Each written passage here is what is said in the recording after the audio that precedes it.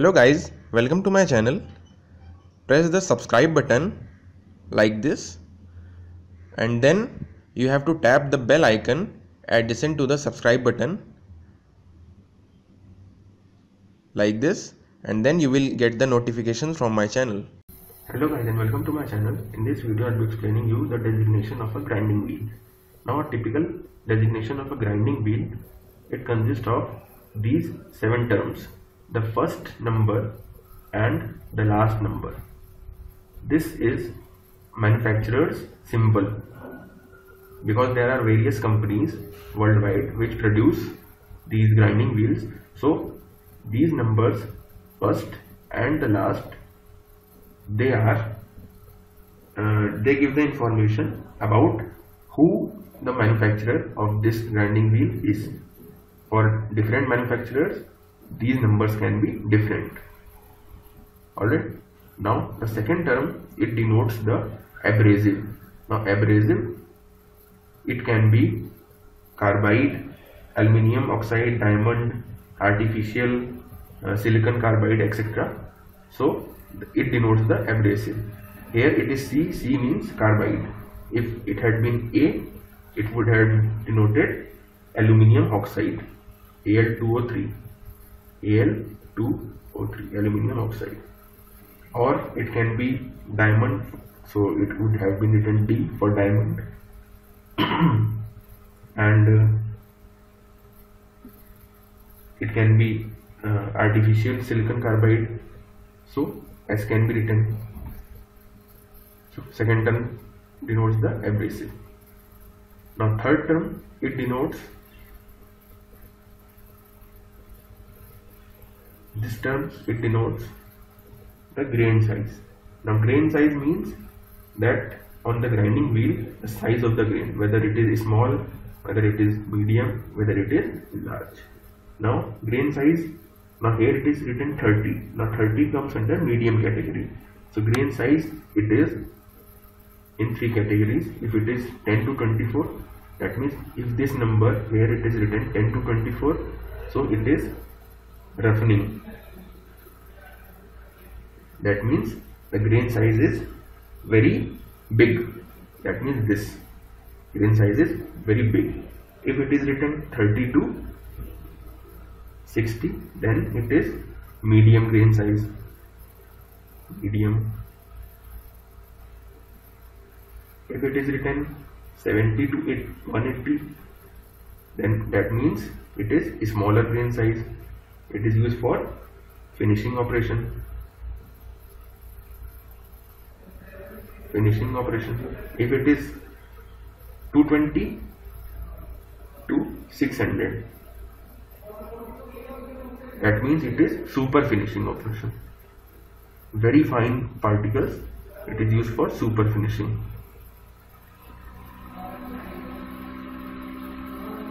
So now what this number it represents it represents the number of particles or openings per inch square number of openings number of openings upon per inch square that means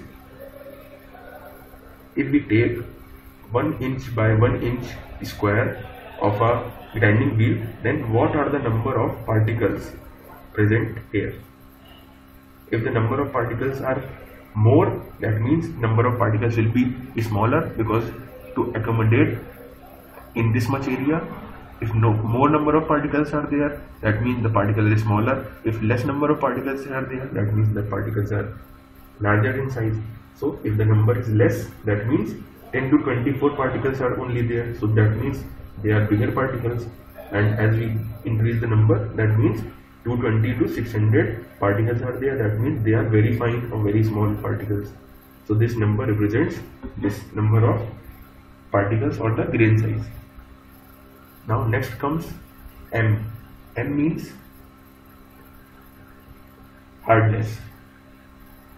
It denotes the hardness for a up to h. It is denoted as soft grinding wheel. From I to P It is medium. Medium grinding wheel.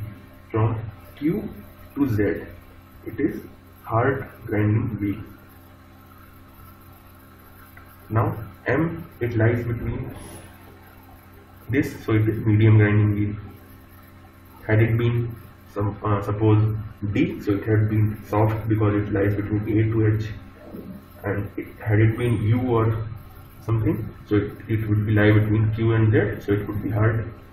So this number denotes the hardness. Hardness. It denotes the hardness. Next number comes. It comes the structure. This number denotes the structure. Now, structure.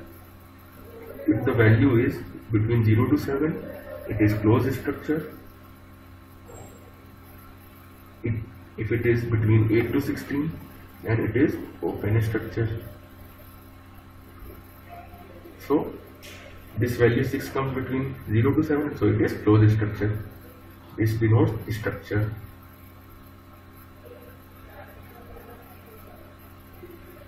Zero to seven, so it is closed structure. Eight to sixteen, it is open structure. Then last comes with uh, this V. V it denotes the type of bond between the abrasive particles and the grinding wheel type of bond.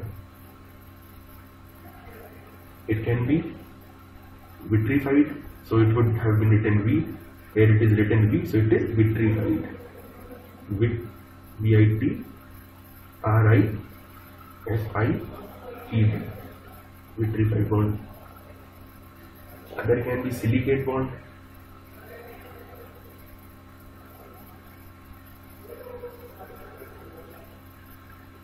or it can be rubber bond capital R for rubber bond or it can be M for metal bond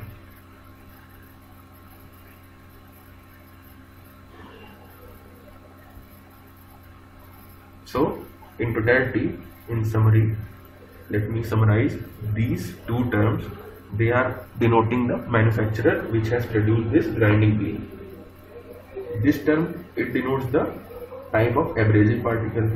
This term it denotes the grain size, whether it is uh, number of grains per unit per square inch.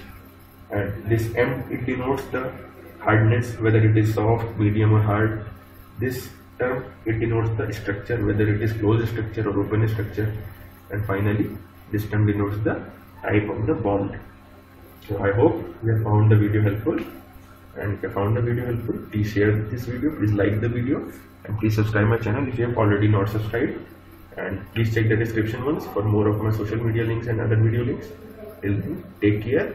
Bye bye